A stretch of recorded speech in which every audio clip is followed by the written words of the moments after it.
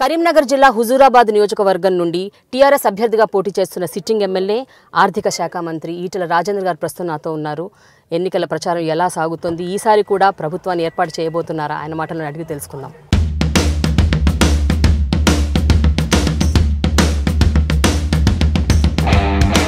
Sir ఇప్పుడు యాక్చువల్గా మూడు నెలలు దాటింది కదా. మూడు నెలల వరకు స్టార్ట్ అయింది. ప్రచారం మొదలు పెట్టి కూడా సో మరి ఆల్మోస్ట్ మీరు అన్ని కవర్ చేసే ఉంటారుగా? ఎప్పుడో అయిపోయినాయి. రెడ్ సెకండ్ రౌండా? అట్లా కాదు కానీ మాది ఫస్ట్ రౌండ్. అంటే మేము టౌన్లలో ఉండి మీటింగ్ పెట్టాం. ఓకే.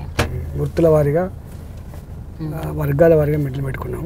థర్టీ ఫార్టీ డేస్ అట్లా గడిచినాయి. ఆ తదుపరి పని చేస్తాం సరే ఆర్థిక శాఖ మంత్రి అంటే యాక్చువల్గా చాలా బరువు బాధ్యతలతో కూడిన ఒక పదవి.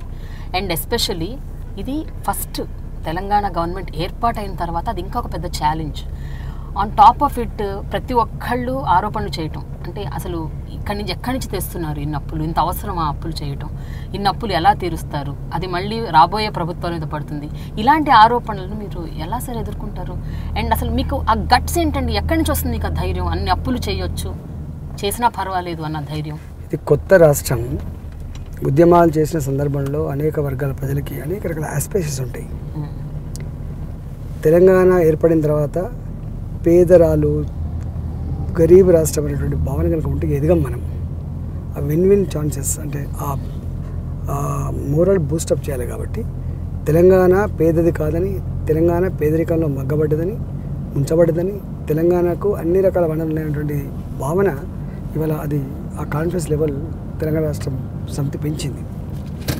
అప్పులు కూడా ఎప్పుడు పడితే అప్పుడే ఎట్లా పడితే అట్లా ఇవ్వవు. ఎఫ్ఆర్బిఎం అనే చట్టం ఉంటుంది. దానికి లోబడి మాత్రమే అప్పులు దొరుకుతాయి తప్ప కేంద్ర ప్రభుత్వాలకు ఉన్న మాదిరిగా మనకు అప్పులు దొరికే ఆస్కారం లేదు. సెకండ్ థింగ్ ఏంటంటే the most important aspect is ఇలా అనేక ఛాలెంజెస్ తాగే నీళ్ళకు బాధపడ్డది తెలంగాణ. సాగునీరుకు కూడా బాధపడ్డది. మూటలు కాలిపోయిన మూటలు కాలిపోయిన ట్రాన్స్ఫార్మర్లు అసలు కరెంటు లేకపడ్డ కష్టాలు ఇవన్నిటినీ ఎట్లా అధిగమించాలి? అంటే ప్రజలల్లో తెలంగాణ తన కాలం మీద నిలబడగలదు. తెలంగాణ ముందుకు పోగలదు. తెలంగాణ ఇన్ని సమస్యలు పరిష్కరించుకోగలదు అనే ఒక విశ్వాసం కల్పించాల్సిన బాధ్యత మా మీద ఉంది కాబట్టి ఆ బాధ్యతలో భాగంగా ఇవన్నీ మేము ఛాలెంజ్ చేసుకొని తీసుకొస్తున్నాం. ఇవాళ దేశంలోనే కొత్త రాష్ట్రమైనా చిన్న రాష్ట్రమైనా తెలంగాణ చాలా గొప్పగా ముందుకు పోతున్న ఒక భావన ఇలా కలిగింది. అనేక రాష్ట్రాల కంటే కూడా అనుభవం కలిగిన రాష్ట్రాల కంటే పాత రాష్ట్రాల కంటే కూడా తెలంగాణ ఇవాళ కొత్తదే అయినా అనేక అవార్డ్స్ పొంది అభివృద్ధి అంటే తెలంగాణ తెలంగాణ వైపు చూడమని చెప్పే పరిస్థితికి తీసుకొచ్చామంటే అంటే నాలుగేళ్ళ కాలంలో మనం ఇన్ని రకాల ఎఫర్ట్స్ పెడితే తప్ప అది సాధ్యం కాలేదు. ఇవాళ అది చేసింది ఇలా మంచిదని చెప్పి ప్రూవ్ అయింది. ఉద్యమం టైం నుంచి కూడా మీకు ఒక విజన్ ఉంది. తెలంగాణ రాష్ట్రం ఏర్పడితే మేము ఇది చేయాలి ఇది చెయ్యాలి ఇది చేయాలని. బట్ ఒక నాలుగున్నరేళ్ళలోనే దాదాపు ఒక సిక్స్టీ సెవెంటీ పర్సెంట్ వరకు సాధించగలగటం అన్నది ఏ ఈ- ఏం విజన్ సార్ అది? మీరు స్టార్ట్ చేసినప్పుడు ఎక్కడ కూడా మీకు డౌట్ రాలేదా? ఇది అంటే ఫోర్ అండ్ హాఫ్ ఇయర్స్లోనే మేము చేయగలుగుతాము చేసాము దీనికి టైం పడుతుంది అన్న ఒక ఒక డౌట్ ఏమి రాలేదా? ఒక ఒక సంశయం కానీ ఒక అనుమానం యాక్చువల్గా బిగినింగ్లో కొంత సంశయాలు ఉండేవి కానీ పరిపాలనా పగ్గాలు చేతపట్టిన తర్వాత ప్లాన్స్ డిజైన్ చేసుకున్న తర్వాత దాని కార్యాచరణ రూపొందించుకున్న తర్వాత అమలవుతున్న తీరు తర్వాత కొంత కాన్షియస్ లెవెల్ పెరిగింది. లెవెల్ పెరిగి ఇవాళ ముందుకు పోతా ఉన్నాం. ఇవాళ ఎక్కడికి వచ్చిందంటే తప్పకుండా అప్పులు తేవడం నేర కాదు నేరం కాదు. అప్పులు తేవడం అవసరమైన స్థాయికి వచ్చి ఇవాళ శరవేగంగా పూర్తి చేసుకుంటున్నాం. ఇవి కనుక రేపు ఐదేళ్ళలో పదేళ్ళలో కనుక మొదలు పెట్టుకుంటే దీని దీని ప్రైస్ ఇవాళ వంద రూపాయలన్న ప్రైస్ ఇవాళ మూడు వందల రూపాయలు నాలుగు వందల రూపాయలు పెరిగే ప్రమాదం ఉంది. ఇలా ప్రైస్ ఎస్కలేషన్స్ లేకుండా ఇంత గొప్ప ప్రాజెక్టులు చేపట్టి పూర్తి చేయడం అనేటువంటిది ఒక రికార్డు. సో చాలా రాష్ట్రాలు కూడా మీ వైపు చూస్తున్నాయి సార్. తెలంగాణ కొత్త రాష్ట్రమైనా? ఏర్పడ్డ కొత్తగా ఏర్పడ్డ రాష్ట్రమైనా? ఏంటి అసలు తెలంగాణ? ఎందుకు ఏమిటి తెలంగాణ అన్న ఒక ఆశ్చర్యం ఒక ఒక విస్మయం. ఎస్పెషల్లీ చాలా రాష్ట్రాల వాళ్ళు ఇక్కడికి వచ్చి చూస్తున్నారు. సో దాని గురించి మీరు ఏం చెప్తారు? ఇవాళ ఒక మిషన్ కాకతే ఒక అద్భుతం. అంటే మనిషి గురించి మనిషి జీవితం గురించి పల్లెల గురించి పల్లె జీవితం గురించి ప్రతిబింబించేటువంటిది మిషన్ కాకతీయ. ఇవాళ బోరెండిపోతే బోరె బోరేసుకున్నది మళ్ళీ. బావి ఎండిపోతే బావి తవ్వుకున్నారు కానీ ఈ బావి ఎందుకు ఎండిపోయింది? ఈ బోర్ ఎందుకు ఎండిపోయింది? దాని కారణం ఏందో అన్వేషించలేకపోయినారు. వీళ్ళు దాన్ని విజువలైజ్ చేసుకొని ఇలా అన్ని చెరువులని మిషన్ కాకతీయ ద్వారా పూర్తి చేసుకొని ఇలా బోర్ ఎండిపోకుండా బావి ఎండిపోకుండా చూసుకొని రైతు పంటలు కాపాడుకునే ప్రయత్నం చేస్తూ ఉంది. ఇలా మిషన్ భగీరథ అంటే ఆదివాసీ పల్లెలలో గిరిజన గూడలలో వర్షాకాలం వచ్చిందంటే విషజ్వరాల బారిన పడి లేదా ఈ వాటర్ పొల్యూషన్ తోటి వందల మంది చనిపోయేది. అలాంటి పల్లెలకి ఇవాళ బంజారాయిడ్స్లో ఉన్నటువంటి వాళ్ళు ఏ నీళ్ళు తాగుతున్నారో ఆ పల్లె కూడా నీళ్ళు అందించి ఇలా హెల్త్ ప్రొఫైల్ ఇలా ఆరోగ్యాన్ని పెంచే ప్రయత్నం చేసినాం. అంటే హ్యూమన్ రిసోర్సెస్ ఇలా మానవ సంపద అంటే మానవ సంపదని క్వాలిటేటివ్గా మార్చే ప్రయత్నం చేసినాం. మూడవది ఇవాళ మనం ఒప్పుకున్న ఒప్పుకున్న ఈ ఆర్థిక వ్యవస్థ అగ్రేరియన్ బేస్డ్ ఎకానమీ. ఇవాళ అగ్రేరియన్ ఎకానమీ బేస్డ్ బేస్డ్ ఎకానమీలో తెలంగాణ పంట పొలాలకు నీళ్ళు రాకుండా తెలంగాణలో కరువు పారుదలకుండా తెలంగాణ రైతాంగం బాగుపడకుండా బంగారు తెలంగాణ సాధించలేం కాబట్టి దాంట్లో భాగంగానే ఇలా మిషన్ కాకతీయ మిషన్ కాకతీయ కానీ ఇలా కాళేశ్వరం ప్రాజెక్ట్ కానీ కట్టుకొని ఇవాళ వచ్చే సంవత్సరం కొంత లింక్ కలుపుకొని తప్పకుండా కోటి ఎకరాలకు నీళ్ళు ఇచ్చుకొని కోటి రతనాల వీణ అని చెప్పి దాశరథి గారి రాశంలో అది అది సుసంపన్నం చేయగలిగేటువంటి విశ్వాసం ఉన్నట్టుగా మేము భావిస్తాం. సార్ నేను అబ్జర్వ్ చేస్తూ వచ్చాను సార్ టీఆర్ఎస్ ఎమ్మెల్యేలు ఈవెన్ ముఖ్యమంత్రి గారు కేసీఆర్ గారు కూడా ఏ నియోజకవర్గంకి వెళ్ళినా ఎక్కడికి వెళ్ళినా కూడా ఎంతసేపటికి వారు చేసిన అభివృద్ధి గురించే మాట్లాడుతున్నారు కానీ గతంలో లాగా ప్రత్యర్థుల గురించి మాట్లాడటం వేరే పార్టీల గురించి మాట్లాడటం వాళ్ళు ఏం చేయలేదని చెప్పడం. అది అది ఎక్కడో one minute two minutes but ten minutes మాట్లాడితే ఎనిమిది నిమిషాలు అభివృద్ధి గురించి మాత్రమే మాట్లాడుతున్నారు. ఏంటి సార్ దీనికి రీజన్ ఏంటి? యాక్చువల్గా గతంలో చేసింది ఏమీ లేదు కాబట్టి ఒకరికొకరు రాజకీయ ఆరోపణలు చేసుకొని పర్సనల్గా ఆరోపణలు చేసుకొని బయటపడేవాళ్ళు. కానీ ఇవాళ చేసినాం మేము. అంటే మేము చేసిన ప్రతి పని ప్రతి కుటుంబాన్ని తట్టింది. ప్రతి మనిషి గుండెల్లో ఉన్నది కాబట్టి దాన్ని గుర్తు చేసుకుంటున్నాం మేము. అంటే తిన్న రేవుని తలిసేవాళ్ళు కాబట్టి ఒకసారి సాయం చేస్తే మర్చిపోలే వాళ్ళు కాబట్టి ఇవాళ దాన్ని అంతా గుర్తు చేసుకుంటున్నాం మేము. ఇవాళ మేము వాళ్ళ మీద వీళ్ళ మీద ఆరోపణలు చేసుకొని ఇలా చిన్నగా కాదలుచుకోలేము మేము. ఎస్ మేము ఆ నాలుగేళ్ళ అధికారాన్ని మాకు ఇచ్చిండ్రు. ఇన్ని పనులు చేసి పెట్టినాం. మళ్ళీ మళ్ళీ మాకు ఇవ్వండి. మళ్ళీ మీకు రుణం తీసుకునే ప్రయత్నం చేస్తాం. అది ఎంతవరకు మీరు కంప్లీట్ చేశారనుకుంటున్నారు సార్? మీరు ఇచ్చిన హామీలని ఎంతవరకు డెబ్బై శాతం? పూర్తి చేసుకున్నాం. ఇంకా ముప్పై ముప్పై శాతం మనకు మిగిలినాయి. తప్పకుండా వచ్చే ఐదు నెలల్లో డబుల్ బెడ్రూమ్లు కానీ ఇవాళ ఎంప్లాయ్మెంట్ జనరేషన్ ప్రోగ్రామ్ కానీ మొత్తం తాగే నీళ్ళని పూర్తిగా ఇంటింటికి అందించేది కానీ సాగునీరుని ప్రతి ఎకరానికి అందించే కానీ ఇవన్నీ కూడా వచ్చే వచ్చే ఐదేళ్ళ కాలంలో పూర్తి చేసుకుంటాం. సో జనరల్గా ఒక పొలిటికల్ పార్టీ ఒక మేనిఫెస్టోతో వస్తుంది. ఫర్ ద ఫస్ట్ టైం నేను చూస్తున్నాను టీఆర్ఎస్ పార్టీ. మేనిఫెస్టో లేకుండా ఎలక్షన్స్లోకి వెళ్ళడం. అంటే ఏంటి ఏ సంకేతాలు పంపిస్తున్నారు మీరు జనాలకి? అసలు మా పని విధానం ఏందో మా మేనిఫెస్టో ఏందో మా ఓరియంటేషన్ ఏందో ఆల్రెడీ ఇప్పటికే అది కళ్ళ ముందు ఉంది అది. మా ఐదు సంవత్సరాలు నాలుగున్నర సంవత్సరాల కాలంలో ప్రజల కళ్ళ ముందు ఆవిష్కరించబడ్డది. ప్రజల ప్రజల హృదయాల్లో ఉండేది అది. దీన్ని మళ్ళీ గుర్తు చేయాల్సిన అక్కర్లేదు. రెండవది ఇంకా తక్కువ పడ్డ ఏవైతున్నాయో రెట్ రెక్టిఫై చేసుకోవాల్సినవి ఉండవు అవన్నీ కూడా చేసుకున్నాం మనం. మనం మేము ఒక నాలుగైదు అంశాలు ఉన్నాయి. రైతుకు మళ్ళీ రుణమాఫీ చేస్తామని చెప్పినాము వన్ ల్యాక్ వన్ ల్యాక్ వరకు. రైతు రుణ రైతులకు ఇచ్చేటువంటి ఇన్సూరెన్స్ని పేదలకు అనేటువంటి ఒక కోణం తీసుకున్నాం. తర్వాత పెన్షన్లు పెంచుతామని చెప్పినాం అట్లా ఇట్- ఇట్లాంటివన్నీ కూడా తీసుకున్నాం. ఆ ఛాలెంజెస్ మళ్ళీ మేము ఫుల్ఫిల్ చేస్తామనే విశ్వాసం మాకుంది. మహాకూటమి గురించి మీ అభిప్రాయం ఏంటండి? ఆ మహాకూటమిలోనే ఓటమి అలా నిగూఢంగా ఉంది. మహాకూటమిలోనే ఓటమి నిగూఢంగా ఉంది. ఇలా వాళ్ళు చేతకాక మమ్మల్ని ఎదుర్కొనే సత్తా లేకని అందరు కలిసికట్టుగా ఈ ప్రభుత్వం దించాలని ప్రయత్నం చేస్తున్నారు. వాళ్ళని కూడా ప్రభుత్వాలు దిగిపోవు ప్రజలను కూడా ప్రభుత్వాలు దిగిపోతాయి.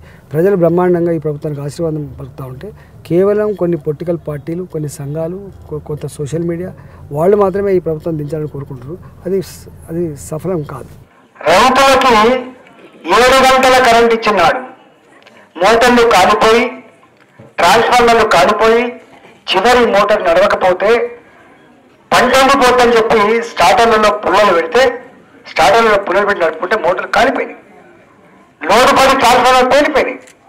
మేము అడగడం నువ్వు ఆ ఏడు గంటల కరెంట్ అయినా ఇవ్వు కానీ మోటార్ నడిచే కరెంట్ ఇవ్వని చెప్పినాం. మోటార్లు కాలిపోయి ట్రాన్స్ఫార్మర్లు కాలిపోయిన కరెంట్ ఇవ్వని చెప్పి అడిగాం. ఇచ్చిందా?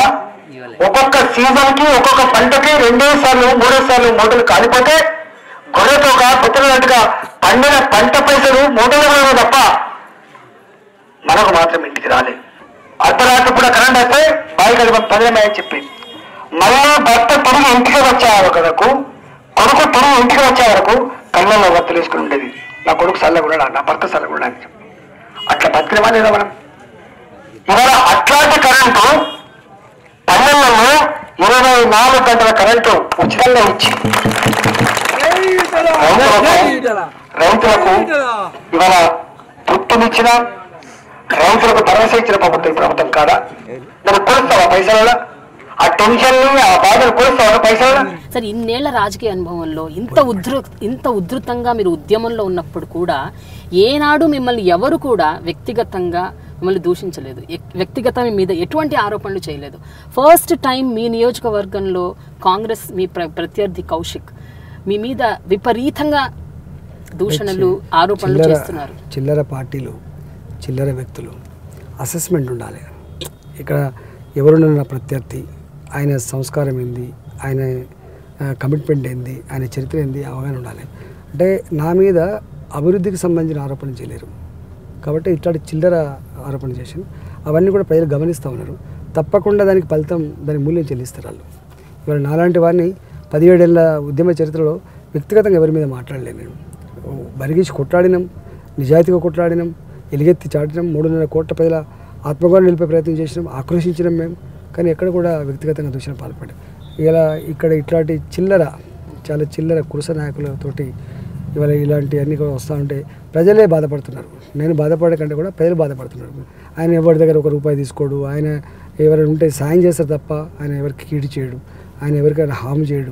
ఆయనకున్న శక్తిని అంతా కూడా ప్రజల దారిపోసే ప్రయత్నం చేస్తున్నాడు. భావన ప్రజలలో ఉంది. ఇలా అలాంటి చిల్లర ఆరోపణ వల్ల ఇంకా కుంచుకపోయింది తప్ప వాళ్ళు బాగుపడే ప్రసక్తి లేదు. సరే ఇంకా మీ నియోజకవర్గానికి ఏమేం చెయ్యాలి?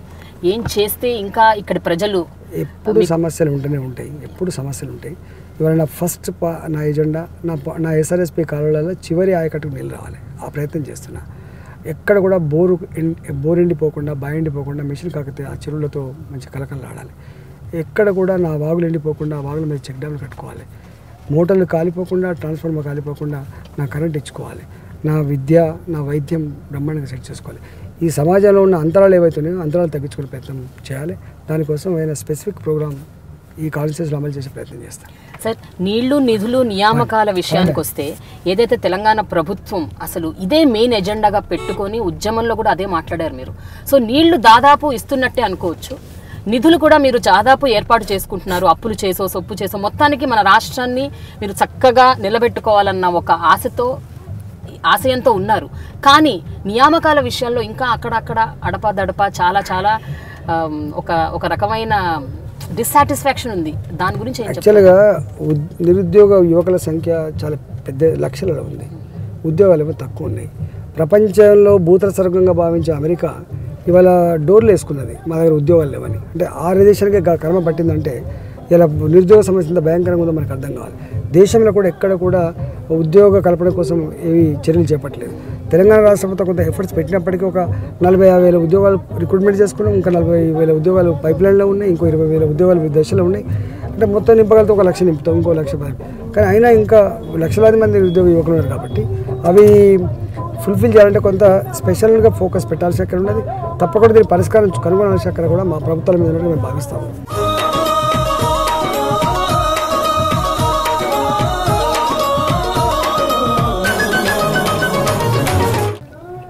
సార్ చూస్తుంటే ప్రచారం విపరీతంగా అద్భుతంగా ఉన్నట్టు అనిపిస్తుంది సార్ నాకైతే. అంటే చాలా పాజిటివిటీ కనిపిస్తుంది.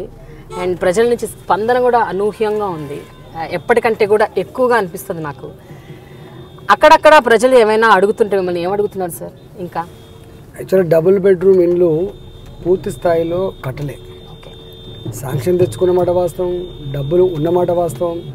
కానీ ఒకే దగ్గర కట్టాలనే నిబంధన అయితే ఉందో భూములు లేని జాగాలలో ఊర్లలో కష్టమైపోయింది. రెండోది ఏంటంటే ఇన్ని ప్రాజెక్టులు ఇన్ని రోడ్లు ఇన్ని మిషన్ భగీరథ పనులు జరుగుతున్నప్పుడు గదే ఇన్ఫ్రాస్ట్రక్చర్ గదే కాంట్రాక్టులు గదే మనుషులు ఉంటారు కాబట్టి జనరల్గా ఇంత నాలుగు పైసలు మిగిలిన పోతారు తప్ప ఈ తగిలిన దాంట్లో రారు. ఈ డబుల్ బెడ్రూమ్ ఇళ్ళలో రూపాయి మిగలదు కాబట్టి రూపాయి మిగిలేదు కాబట్టి కొంత ఎవరు రాలేదు. ఇప్పుడు వాళ్ళ భూములలో వాళ్ళ బస్తీలనే కట్టించేటువంటి కార్యక్రమం కొనసాగుతుంది కాబట్టి తప్పకుండా రాబోయే కాలంలో అవి కట్టుకుంటారని ఆశిస్తున్నాం అదొకటి. రెండవది ఏంటంటే డబుల్ ఈ మూడు ఎకరాల భూమి విషయంలో మూడు ఎకరాలు అనేది చాలా కష్టంగా ఉంటుంది ఊళ్ళల్లో సపోజ్ మాది ఎస్ఆర్ఎస్పి ఆయకట్టు. ప్రాజెక్టులు మొదలైన తర్వాత ప్రభుత్వమే పన్నెండు లక్షలకు పదిహేను లక్షల భూములు తీసుకుంటున్నప్పుడు ఈ ఆరు లక్షలకి ఏడు లక్షలకి ఎవరిస్తారు భూములు చెప్పండి? కాబట్టి ఆ రేటు ప్రాక్టికల్గా లేదు. రెండవది ఏంటంటే భూములు కూడా పేదల దగ్గర ఉన్నాయి. గొల్ల గొల్ల కురుమలు కావచ్చు గొల్ల కురుమలు కావచ్చు గౌడ్స్ కావచ్చు ముదిరాజులు కావచ్చు కాపులు కావచ్చు రెడ్లు కావచ్చు భూములు పేదవాళ్ళ దగ్గర ఉన్నాయి. మునిపట్లేక వందల ఎకరాల భూస్వాములు లేరు. ఉన్నోళ్ళు ఎక్కడో హైదరాబాద్లో రియల్ ఎస్టేట్ ఉన్న కొంతమంది ఉన్నారు కానీ తొంభై శాతం పైబడి భూములన్నీ కూడా చిన్న కమతాలు చిన్న ఫార్మర్లు చిన్న కులాల దగ్గర ఉన్నాయి కాబట్టి వాళ్ళు భూమిని సోషల్ స్టేటస్గా భావిస్తారు కాబట్టి వాళ్ళు అమ్మట్లేదు. అదొకటి కష్టమవుతుంది అంటే మూడు ఎకరాల నిబంధన కూడా కష్టమవుతుంది రేట్ ఒకటి కష్టమవుతుంది మూడు ఎకరాలు ఇవ్వాలంటే కూడా కష్టమవుతుంది అది తీసుకున్న వాళ్ళేమో ఇంట్లో పోయి ఉంటారు రాని వాళ్ళేమో బ- జెండాకి ఎక్కుతారు. ఆ రెండు ఇష్యూస్ ఉన్నాయి. మూడోది ఏంటంటే దళిత బిడ్డలకి కొంత ఎకనామికల్ సపోర్ట్ స్కీమ్ తక్షణం అందించాలి కొంచెం డిలే అవుతుంది అనేది ఒకటి ఉంది. ఈ మూడు ఏంటంటే మాకు కింద కనపడుతున్నటువంటి ప్రజల నుంచి వస్తున్నటువంటి సెంటిమెంట్ అది. ఓకే